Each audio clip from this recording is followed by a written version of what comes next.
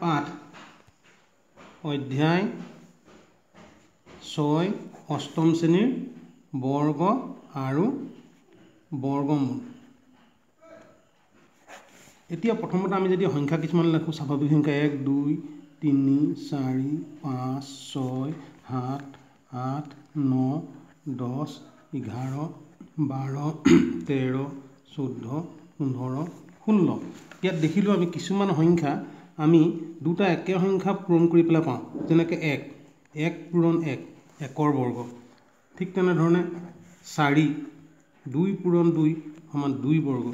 দুই বৰ্গ চাৰি একৰ বৰ্গ এক ঠিক তেনেধৰণে চাৰি আকৌ ন তিনি পূৰণ তিনি তিনিৰ বৰ্গ তিনিৰ বৰ্গ ন ঠিক তেনেধৰণে ষোল্ল চাৰি পূৰণ চাৰি চাৰিৰ বৰ্গ ষোল্ল।